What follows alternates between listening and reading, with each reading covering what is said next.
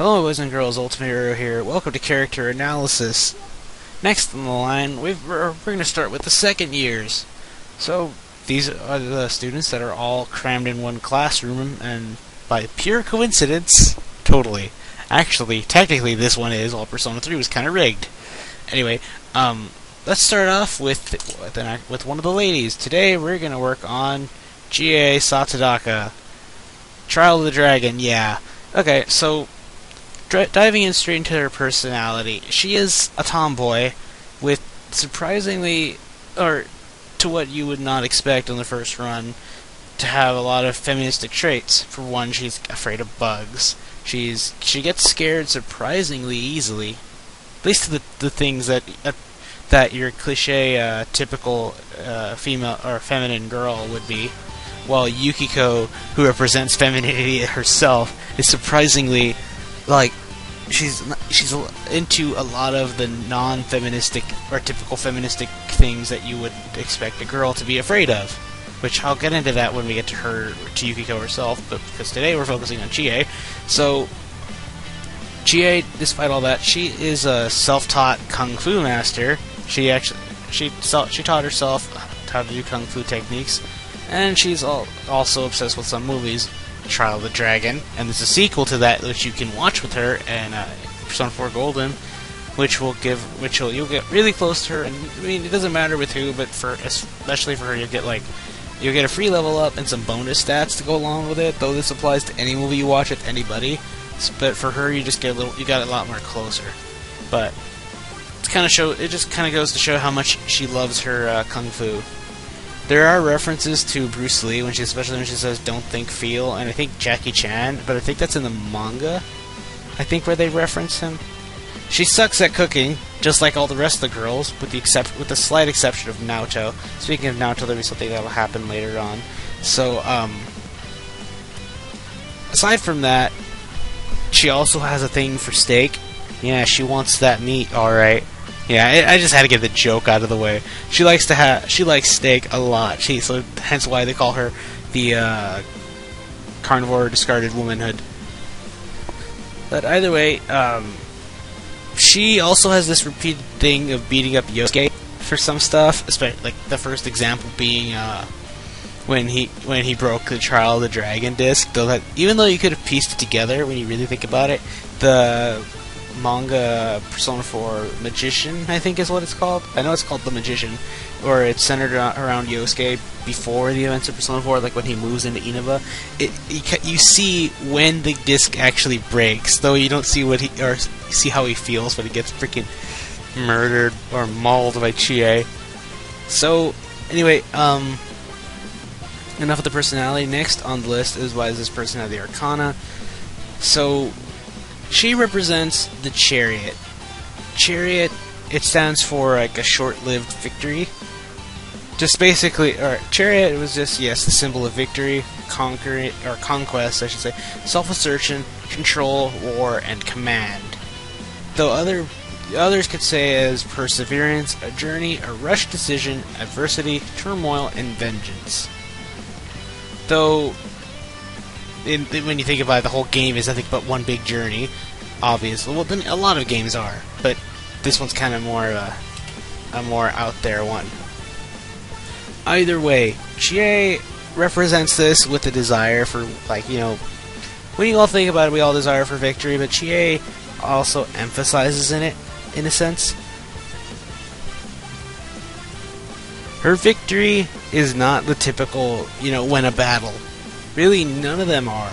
Surprisingly, even the Persona 3 uh, social link, or at least for the male, uh, what's his face? Uh, Kazushi. For his victory, it was, um, or, you know, how did, what is it again? Why is it leaving my mind when I'm actually playing through Persona 3?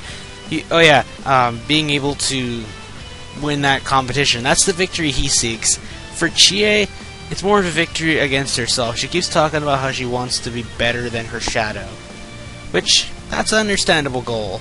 But in that process, well, actually, I should be saving that for the other one. So, it's really hard for me to explain Chie. Well, basically, you're going through her own journey in this game. or since we have to go with the term journeys, and that's what Chariot also represents, going through her journey of becoming a stronger person, just like with everybody else, but more or less with her being stronger herself, which that that thought process she had will change, but I'll explain that when we get to the social link. It's hard to explain this one because of the fact I, pl- I placed this one right before, or a little bit farther back from the social link, because it's hard to explain that without spoiling the social link, which I'm not really spoiling because you already you already know this. But I'd rather wait till we get to the social link before I explain that. So let's just get straight into the shadow. Shadow Chie, um, she represents uh, reverse chariot, which oh, we might as well go into the appearance of it. Actually, yeah, let's get the let's get the symbolism out of the way first. It, the reverse chariot symbolizes envy, addiction, low self-confidence, and abusive control. And also, as well, unsuccessful defeat, failure, last-minute loss, and vanquishment. Just those are extras, by the way, if you want, in case you want to know. But these qualities come from her relationship with Yukiko. She's jealous of Yukiko's beauty and addicted to how Yukiko depends on her. While her bond with Yukiko may not be physically abusive, Chie emotionally controls the relationship. This is the reason to the dominatrix theme that brings physical form to her emotional bondage felt by both Yukiko and Chie. Now, this is really a one-sided type of bondage, as much as the game kind of hints at it.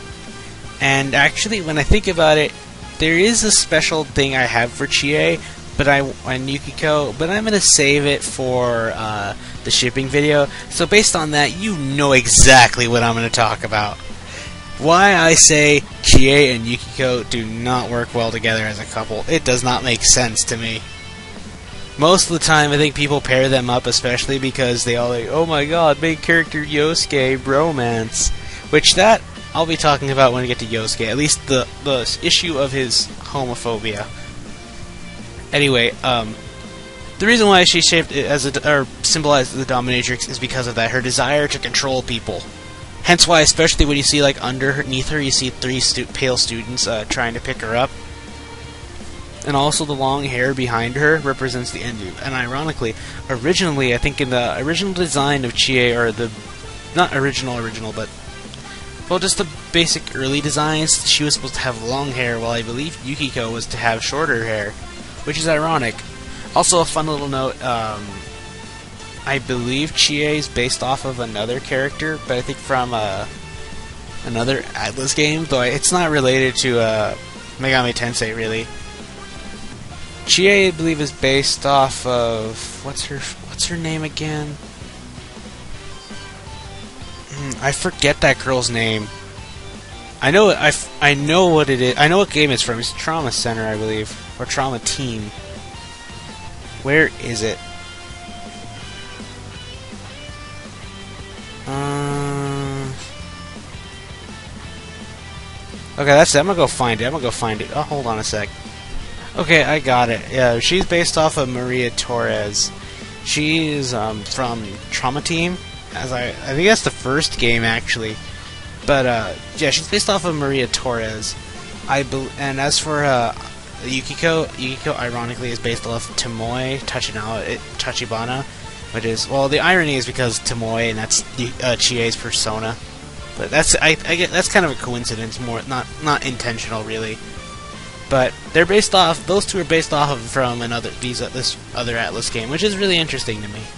But that's just one little note about Chie's design. But anyway, because that was kind of bothering me. I don't know why I wanted why I bothered trying to prove that here. Either way, um, it, the the shadow itself actually more or less represents exactly as it's pointed out, and really the dominatrix works with it perfectly. Though people cannot stop making the joke, dominatrix banana head. I don't blame them. I don't blame them at all. But um, oh yeah, if you look at the top of uh, out of on her hat like thing, you see a smile, which I believe is kind of reminiscent to one of the buttons Chie has on her uh, jacket. But that's just a little thing to point out. Either way, um, she has the desire to. She controls Yukiko because of her sheer jealousy and just how much she dislikes how all the guys drool over her. And really, actually, I should save that. I should save that other part. You see, there's a lot of things I want to say, but I, they're better to be saved for later, where it makes more sense and it's more relevant, which kind of saddens me right now. Well, um, that's basically all that needs to be said about her shadow. But um, it's, I kind of find it funny that it's weak to wind. Hmm, I, I wonder why. Anyway, I'll get to I'll get to that later.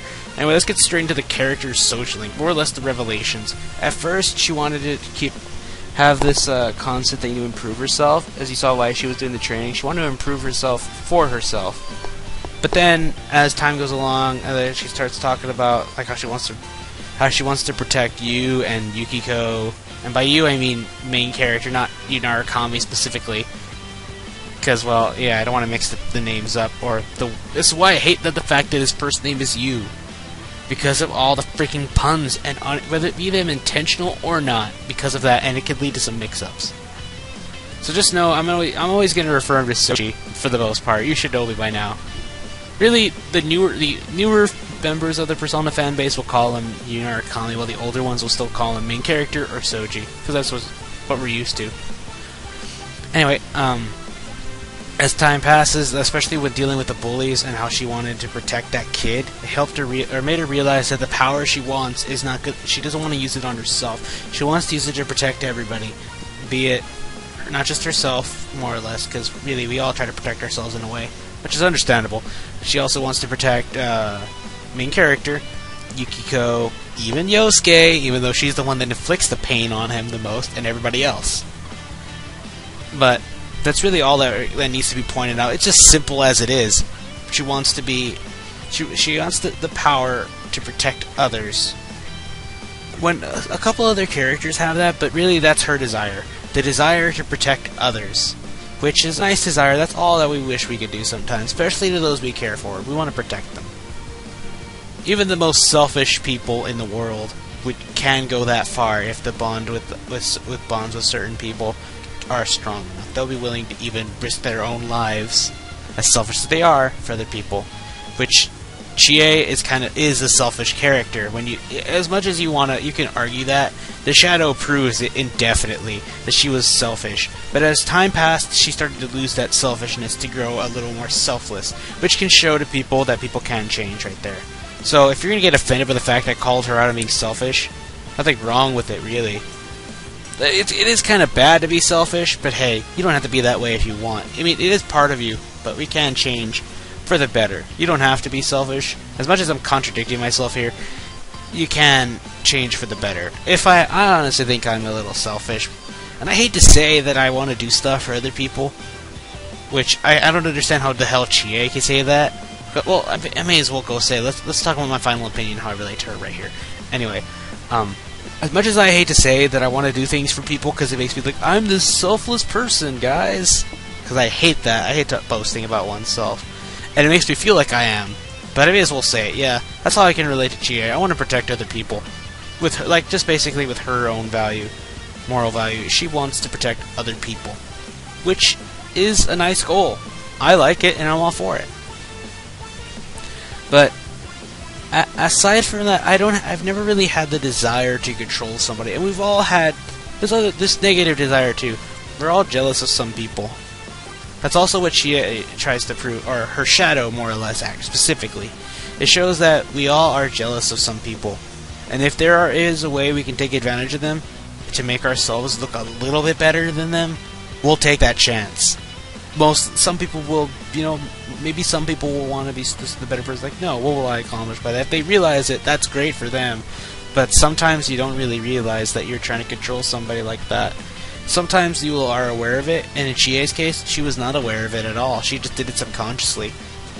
But we all get jealous of people and there's nothing wrong with that. Sometimes we wish but that also leads to some, the concept of we want to be someone we're not which can relate a little bit to Yosuke, so I'll save that for that another time. So as for Chie, what I think of her, she's not really my favorite female character.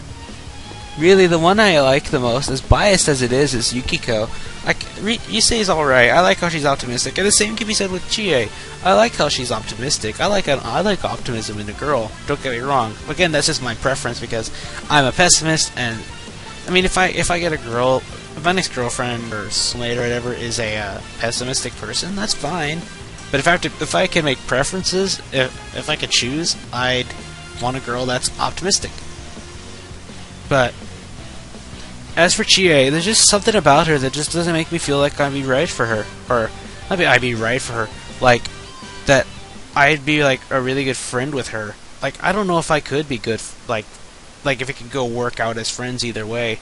So as for her relations, despite her optimism, there's just something about her that makes me think that I don't think I could be friends with her even if I could try. Like if I could actually be friends with these characters, the only ones I could think I could be friends with are the guys for sure, and perhaps Yukiko and Rise, and a bit of Naoto. But for some reason, I have a feeling Chie and I would be at odds, just like Yosuke. Except I don't think I'd get beaten the crap out of for everything I say because I do not go as far as Yosuke, and I swear.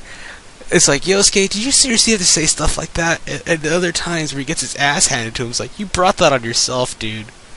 But really, Chie She's not one of my favorite female characters. I think I kind of prefer her over Naoto sometimes, and sometimes the other way around.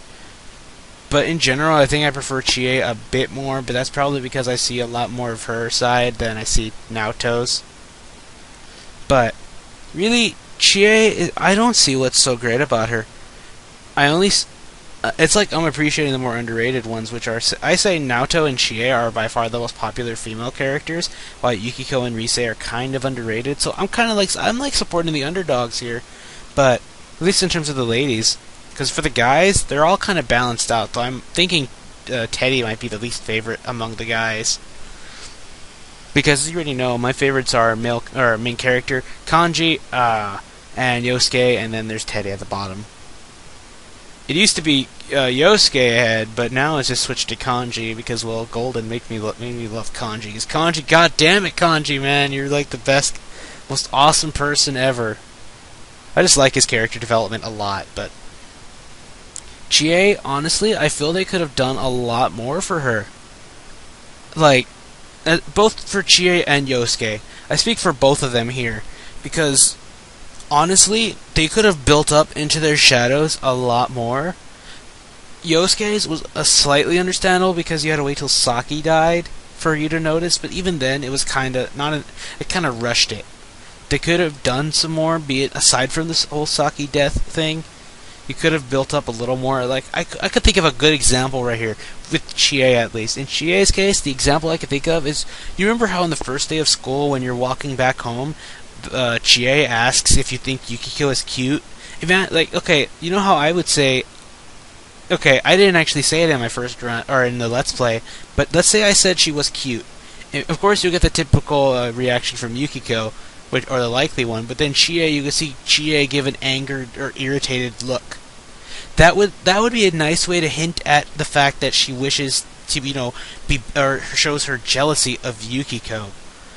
I would have really liked to see that. That would have been a nice little touch right there. That's you might not notice it on your first run, but it would be like like to, well, it kind of does hint at it, but it could have been a little bit of a more uh, maybe it still would have been vague, but vague enough to the point where you keep yourself interested. Because really, that's kind of a forgettable moment nonetheless. Not for me because you know I love waifu, but I think they could have done that a little bit. Like they could have worked on their build up a bit more because well, because Chie and Yosuke do not get their own dungeons. So, and I understand why. Otherwise, the intro would have dragged on a lot longer, and I would not have been able to put up with that. Y- Yukiko, she gets the she gets a fair amount of build up. I think it's a fair amount, especially when you see how she keeps leaving and how you see her at work all the time. That kind of makes you think about like, why is she going to work all the time? You know, it builds up to that. But as for Chie and Yosuke, they needed a lot more, which sad to say they don't get. Either way, I think that's all I can really think about for the for this. So next time we're gonna tackle on Yosuke. Yosuke, hmm, his should be his should be easy. No promises, but I'll try to do what I can to make it really good for Yosuke. Because you already know, I think my best one personally is goes to Kanji because I just love Kanji. And I relate to him so well, hence why it was easier to explain. Chie, Teddy, and uh, Rise were hard to explain because I'm not exactly like them, because they're they are optimistic characters. I'm a pessimistic character. I mean, I could call I could say Kanji's a pessimistic character. Um, Yosuke is a pessimistic. Naoto, surprisingly, pessimist. Yukiko, pessimist. Main character, at least Soji's the pessimist. He, he, it's shown throughout the manga, even from what I know in the English, what's been translated so far. We can all agree uh, Soji has a pessimistic outlook on life, and I'll explain that when we get to him. Yu Narukami? I can't really tell. I can't. He's kind of like on the fence. He's smack dab in the middle.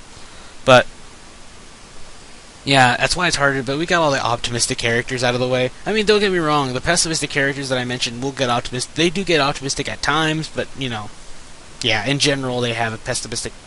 They act. They have a pessimistic attitude, somewhat. And by pessimistic, sometimes it's not that strong. God damn, I've said pessimistic all the damn time. So, yeah, tell me what you think of Chie. So, in the next video, we're, take, we're taking on Yosuke. We're gonna get the Brosuke. So, uh, again, yeah, say, tell me what you think of Chie. She your favorite character or not? She's not mine, but hey, I, I understand why some people like her. I see where people come from for where they like her. That's it's understandable. Anyway, till next video, stay gold.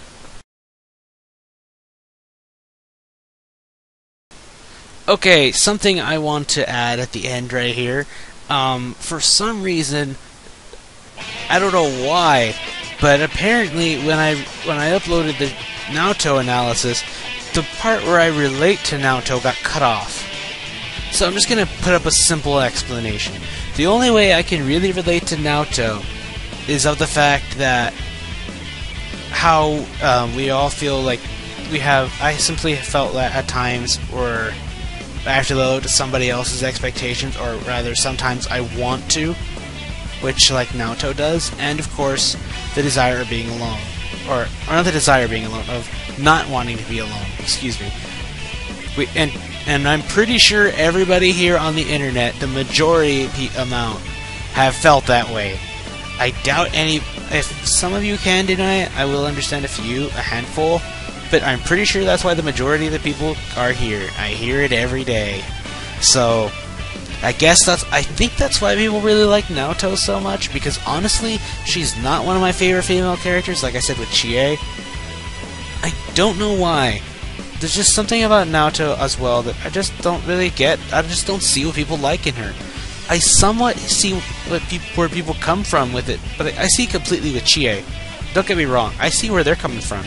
But as for Naoto, not so much. Sometimes I talk like her a little bit, kinda but I guess maybe uh, she rubbed off on me. I don't mind that though.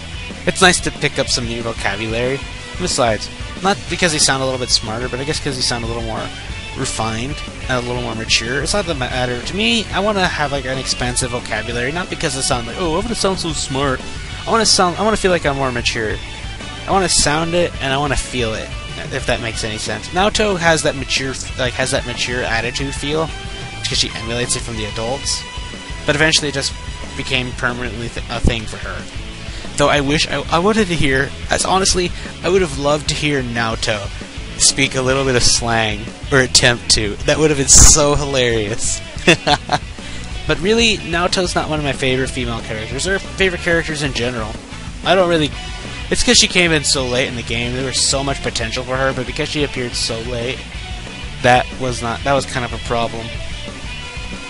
Either way, I, I just don't really get what people see in her. She's nothing special to me. She's just Naoto, really.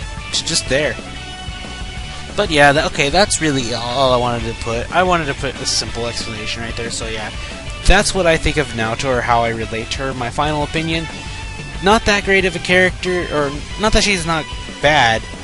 I just don't understand what's so great about her. She's just she's a she's a nice character. I understand her personality, obviously, but I don't. I'm not a big fan of her, which that's just personal preference. If you like Naoto a lot, fine, but I don't need. I don't need the fucking Naotots fan base to go all fucking murder me. I am irritated with them enough. They, honestly, as I've already called out, the Naoto fan base is a bit shallow, especially with the whole issue of the fact that she's supposedly a transgender character, even though the game clearly states she's female, I don't understand that logic. It makes no sense, and it's complete bullshit. I'm cussing a lot, but oh well, I don't care. Naoto is honestly Naoto is not a transgender. I don't know where they I don't know why they came up with that. It's by far one of the most, just the most impish argument I have ever heard. It's one of the stupidest ideas there, if you didn't understand what impish meant. But yeah, that's what I think of Naoto. But Okay, so tell me what you think of Naoto in case you didn't see that. But really, say put that on the other video, really. So, okay, that was just a little additional part because I didn't want to re-upload the I didn't want to re-upload the whole Naoto video. I don't want to bother. So yeah, here's the the extra Naoto part that I missed or that got cut out for some reason. Let's hope that doesn't happen again. So yeah, until next video, stay gold.